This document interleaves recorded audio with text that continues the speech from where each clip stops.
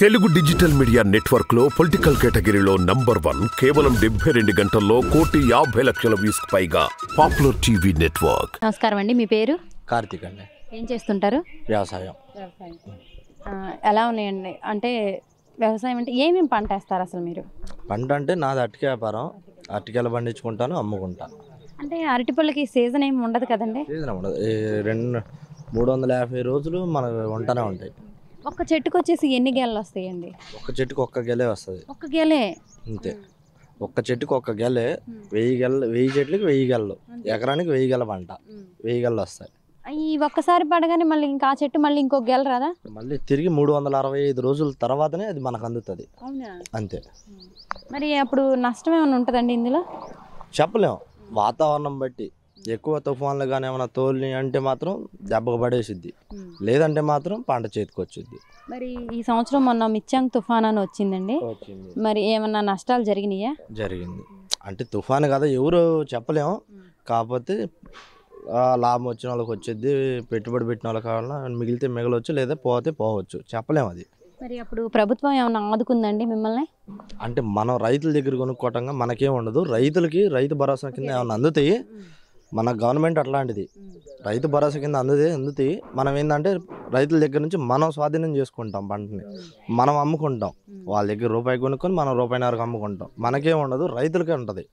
అసలు ఈ గవర్నమెంట్ ఎలా పనిచేస్తుందండి పేదలకు కానీ రైతులకు కానీ మధ్యతరగతి వాళ్ళకి కానీ అందరికీ?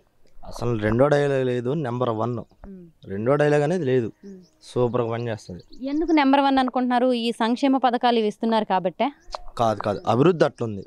అభివృద్ధి అట్లుంది మరి చంద్రబాబు పథకంలో మరి ఇంత ఇన్ని హామీలు ఇచ్చాడు కానీ ఒకటే నెరవేర్చిన ఇది లేదుగా. అస్సలు లేదు. ఈ జగన్ ప్రభుత్వం అనేది వచ్చిన తర్వాతనే కొన్ని కోట్ల మంది బాగుపడ్డారు కొన్ని కోట్ల మంది బాగుపడ్డారు. చాలా మంది అభివృద్ధి చెందిన వాళ్ళు ఉన్నారు. చాలా మంది బాగుపడ్డ వాళ్ళు ఉన్నారు. ఒక పేదవాడికి పెత్తందారుడికి జరిగిన ఉద్యమంలో పేదవాడే గెలుస్తున్నాడు. దానికి భరోసాగా జగన్మోహన్ రెడ్డి గారు నుంచున్నారు.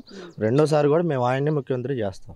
మరి చంద్రబాబు నాయుడు గారి హయాంలో అసలు అభివృద్ధి లేదు ఏం బాగాలేదు అని అంటున్నారు కానీ చంద్రబాబు నాయుడు మరి టీడీపీ నాయకులు కానీ ఇటు చూస్తే జనసేన కానీ మరి వీళ్ళేమో అసలు అభివృద్ధి జరిగిందంటే అది కేవలం చంద్రబాబు నాయుడు గారి ప్రభుత్వంలోనే మళ్ళీ అభివృద్ధి కావాలంటే ఆయనే రావాలంటున్నారు కదండి. సరే వంద మంది వంద మందిని ఏడ నుంచో పెడతాను వంద మందిలో డెబ్బై మందిని చెప్పాను యాభై మందిని చెప్పండి చాలు. యాభై మంది కూడా చెప్పలేని పరిస్థితి చంద్రబాబుకి వచ్చింది ఈ రోజున.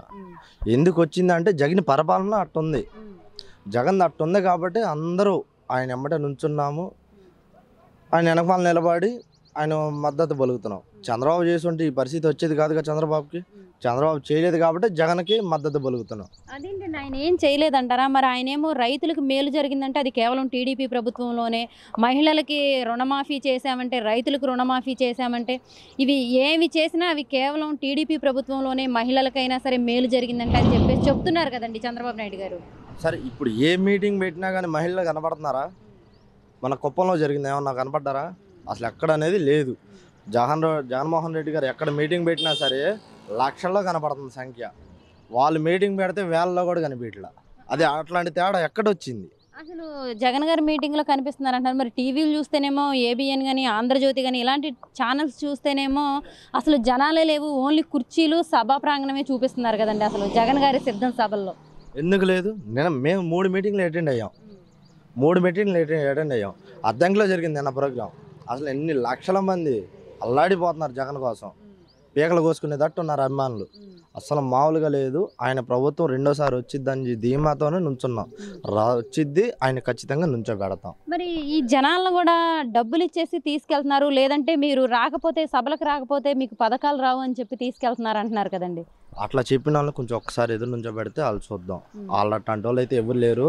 జగన్మోహన్ రెడ్డి గారు చేసిన అభివృద్ధి వల్లే ఆయన వెనకమాల నుంచి ఉన్నారు కానీ అభివృద్ధి. ఇప్పుడు ఒకళ్ళు మంచి చేస్తేనే కదా వాళ్ళ వెనకమాల నుంచునేది మంచి చేయకపోతే నుంచోరు కదా. ఆయన జగన్మోహన్ రెడ్డి గారు మంచి చేశాడు కాబట్టి నాలుగున్నర సంవత్సరాల పరిపాలన ఎక్కిన రెండు సంవత్సరాలు కరోనాకే పోయింది ఆయన టైం. రెండు సంవత్సరాలు ఆయన కరోనాకే పోయింది. రెండున్నర సంవత్సరాల్లోనే ఎంత పరిపాలన చేశాడంటే ఇంకొకసారి ఎక్కిస్తే ఇంకెంత పరిపాలన అందిద్దాం మనకి? చెప్పలేం కదా. ఇంకొకసారి ఎక్కిస్తే పరిపాలన అందిద్దని మీరు అంటున్నారు కానీ ఇంకొకసారి జగన్ సీఎం అయితే మరో శ్రీలంక అయిపోయింది ఆంధ్రప్రదేశ్ అని చెప్పేసి అంటున్నారు కదండి. మన ఏపీ ప్రజలంతా వలస వెళ్ళిపోయే పరిస్థితి ఉంది ఆంధ్రప్రదేశ్లో అంటున్నారు కదండి. అట్ట వలసెల్లి ప్రదేశం వస్తే ఇంతమంది ఎందుకు నుంచుంటారు ఆయన వెనకాల రెండు వేల పద్నాలుగు ఎన్నికల టైంలో జగన్మోహన్ రెడ్డి గారు ఎంబటెంబడిని ఒక పదివేల మంది ఉండొచ్చు. ఇప్పుడు ఎట్లా ఎట్లా ఉంది జనప్రభావం? కొన్ని కోట్ల మంది నుంచుంటున్నారు ఆయన ఎమ్మట.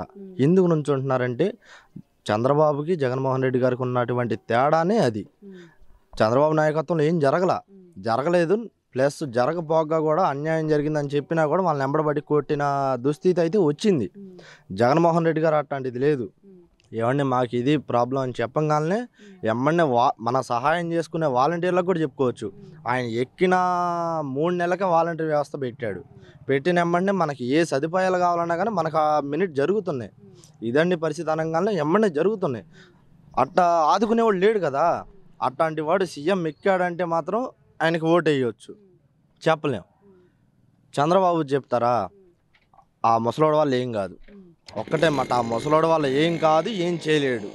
ఆ కుప్పం అటే చూసుకుంటున్నాడు కానీ ఈ దరిదాపుల్లో ఎటువంటిది చూడట్లా. అదేంటండి ఆయన అసలు పులివెందల్లోనే జగన్ ఓడిస్తానని అంటున్నారు కదండి. సరే ఈసారి ఓడిమను చూద్దాం కదా ఆయన మేము తేల్చుకుంటాం కదా ఈసారి ఓడిమను అంతమంది ఓడిచ్చే లెక్క అయితే మొన్న దగ్గరలో ఆడ మీటింగ్ పెట్టాడు. ఆ సభలోనే లేరు జనాలు.